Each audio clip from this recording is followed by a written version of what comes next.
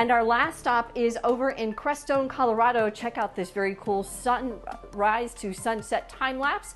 Loving this. Of course, they too have been dealing with some winter weather. We're tracking a major winter storm. We'll tell you where it's headed this weekend as well. So let's take a look at the SATRAD. We're going to begin here